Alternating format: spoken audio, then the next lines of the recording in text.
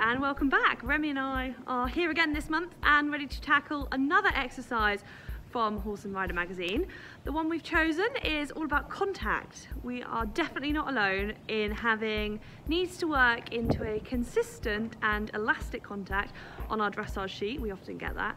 So we've picked one from here that is going to help hopefully um, improve that for us. you ready to go? So are four or five different exercises that we can run through today and there's something for everyone. It starts off quite simply checking that you are positioned correctly, so anyone can do that, and then it moves on into transitions, ending up with a rein back. So lots to choose from and hopefully we'll have some fun.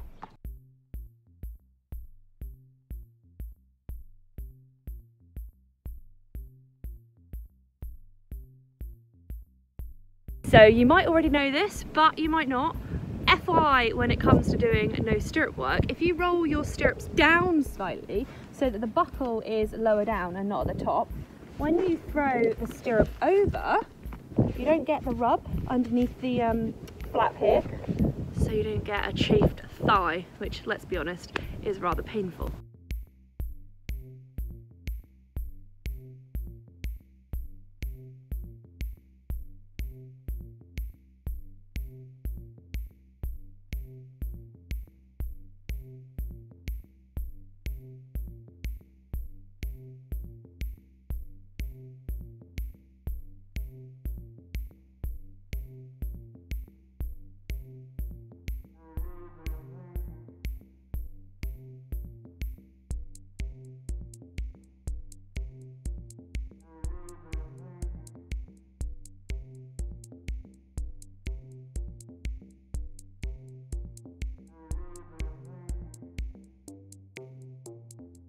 One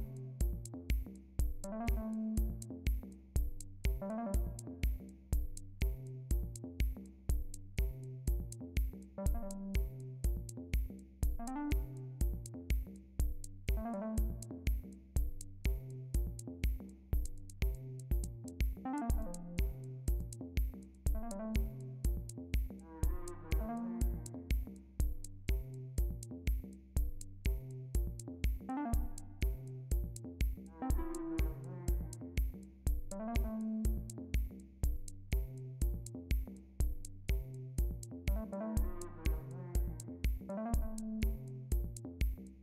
reasons why I love reading through these articles and riding through the exercises is because it breaks things down and makes things really simple and you have a little bit more of an understanding as to the theory behind it all. We've had on our dressage sheets before needs to work into a more elastic, a more consistent contact. Obviously the judge is not going to sit there and start explaining why they need to be doing that. But sometimes I read the things through and I think, I don't know. Um, I know they need to do that, but I don't know why. So having it all explained out in here, there was a particular snippet that resonated and stuck with me, which says an inconsistent contact will make your horse slower to react to your aids because your instructions won't reach him as quickly or clearly. A little like a phone line with poor signal. So that makes perfect sense. So there are five different exercises for you to choose from and ride through. You don't have to ride through them all at once. You can kind of incorporate them all together. So I was doing the bending whilst doing setting, sitting trot, whilst doing it with no stirrups, that sort of thing. It really does make for a more productive schooling session. Potentially you could focus 10 minutes on each exercise and then you've got yourself a nice 50 minute session, which in the winter when you're kind of needing to be a bit more productive with your time, gives you that focus so you're not wandering around aimlessly thinking, what am I going to be doing today? And the best thing about them all is you do not need to do any of them in an arena. If you don't have an arena, you can take them out hacking and do them up on the downs, say.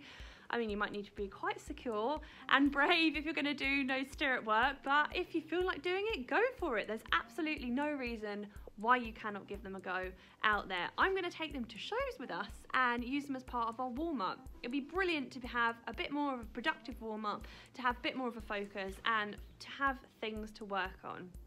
We're definitely going to keep trying at home as well, and I think the end part says having a consistent contact is something that will come with time. So hopefully, if we keep this up, fingers crossed really uh, moving in the right direction. So things can only get better. But for now, one of the top tips was actually to do carrot stretches. Um, so we don't actually do it with carrots because Rem can get a little bit, a little bit mouthy. So we do it with a lick. So we're gonna do those now. But thank you for watching and definitely give these a go. They're super good fun. They're really straightforward and yeah, no matter what stage you're at, these are beneficial to anyone. So get out there and do it and have fun whilst you're doing it.